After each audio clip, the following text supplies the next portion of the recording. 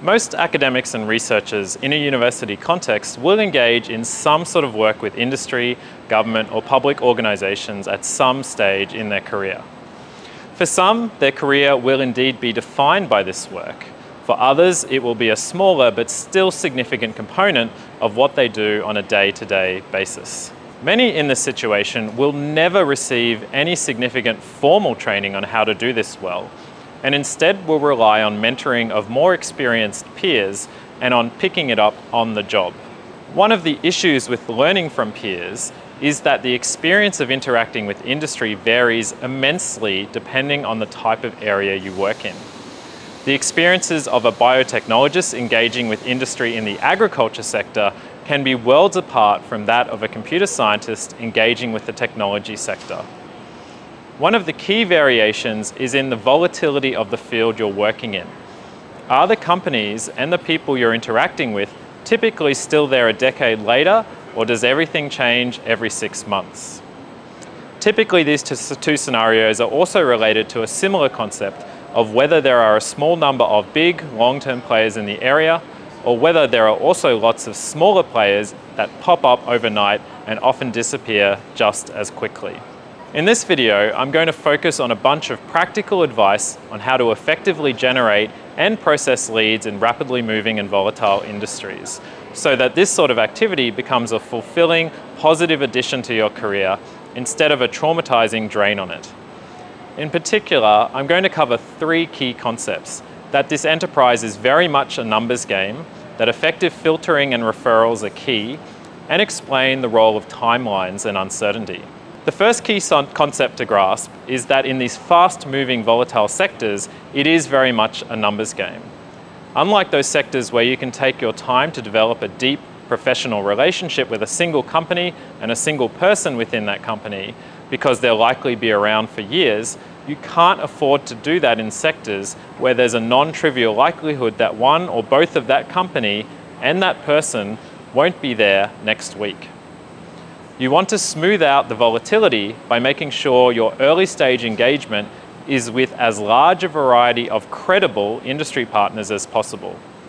Obviously, don't take this too far. Every initial contact or interaction should be with someone that, as best you can determine, has a non-zero chance of leading to something more concrete.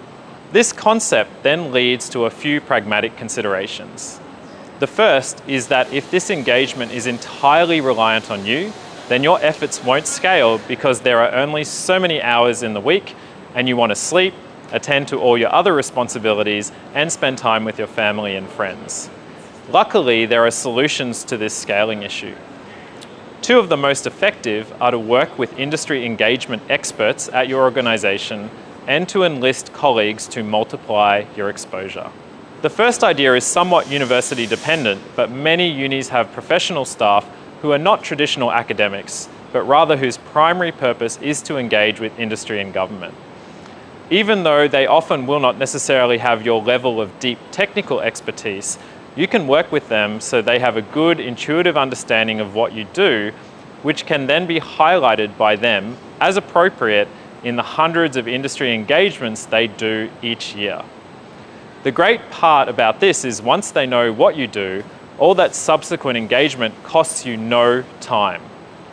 When a lead is deemed promising after the initial engagement or discussion, they can then bring you into the more detailed conversation with you knowing, due to the pre-work, that the lead is already a promising one. Good industry engagement leads will be far more efficient and effective at this initial contact than you, because that is one of the primary activities that they do all the time rather than something you squeeze in between numerous other activities. Co-opting your colleagues is another version of this strategy. Your colleagues, often in the hundreds or thousands, will also be having their own interactions with industry and government.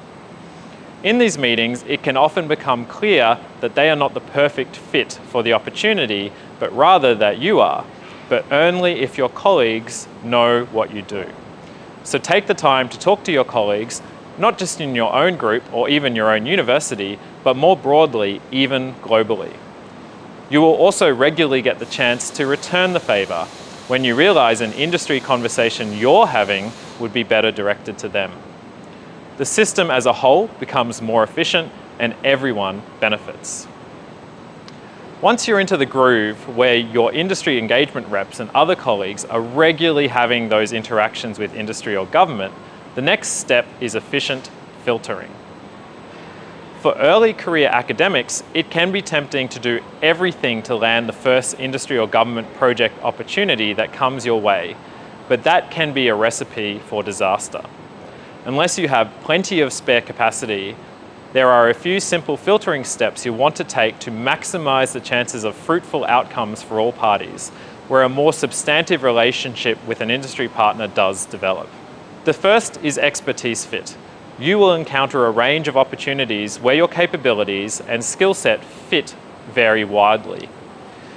You can simplify this into three categories. Opportunities where it's self-evident you're completely unsuited, opportunities where you are technically competent and capable of doing it, but no more effective than a large body of your peers would be, and opportunities where the fit is so good that it's hard to imagine a better person for it, either globally or at least in your city or country.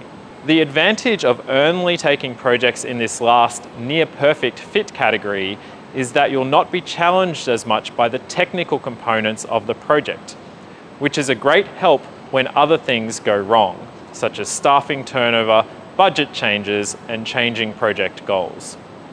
Unfortunately, the percentage of opportunities that fall into this perfect fit category will be small, so you'll want to consider investigating some of the reasonable fit categories as well. One exception to this rule is when you are on a limited timing runway and must generate some meaningful industry connections in a short period of time. For example, you're under pressure at work or a promotion is contingent on doing so. In this situation, you may want to become more flexible in what you take on, but in doing so, you should plan to allocate extra capacity to the role because you'll need it when you're working in a less than ideal topic area fit for yourself. And of course, make sure that your perception of what benefits this activity will provide for you are actually correct. Another key filtering process you or your colleagues can apply here is to evaluate the stage of thinking the idea has progressed to within the organisation talking to you. Again, it helps to simplify this into three categories.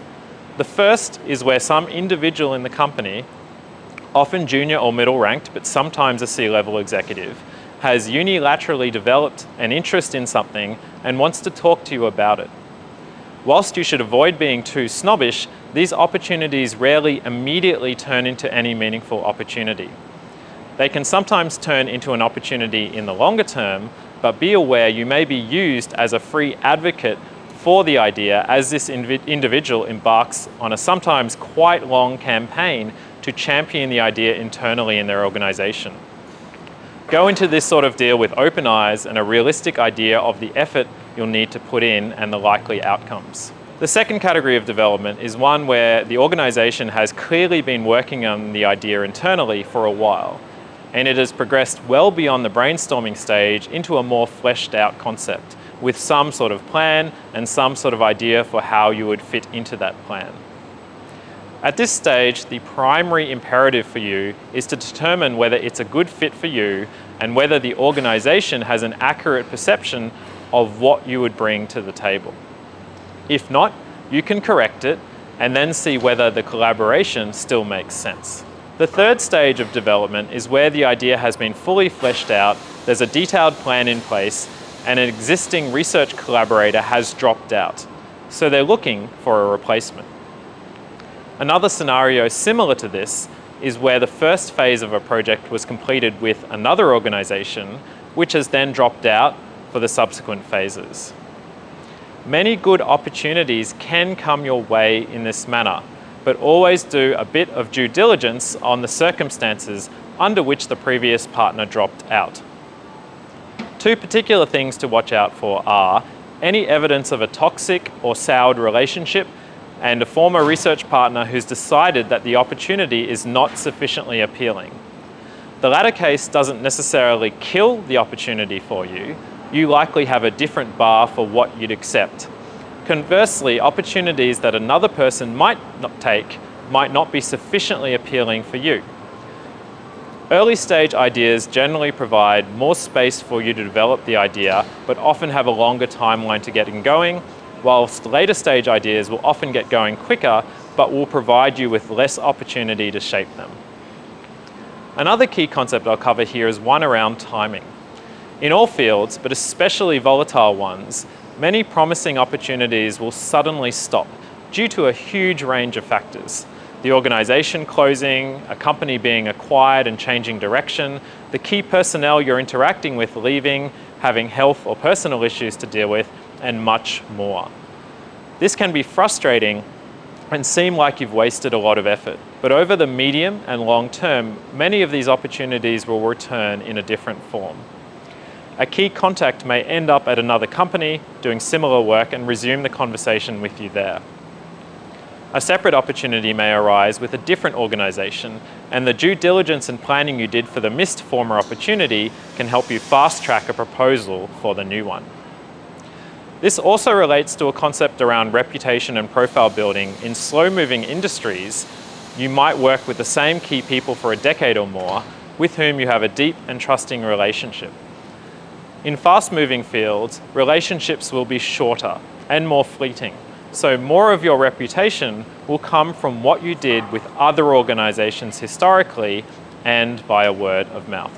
Finally, it pays to remember through all of this that you can't, no matter how much work you put in, guarantee that any one specific individual lead, no matter how promising, will eventuate into a concrete opportunity.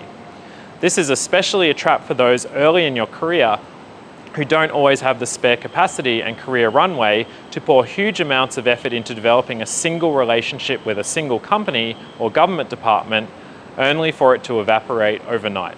This doesn't mean you can't be passionate and excited about investigating these opportunities, even in volatile fields.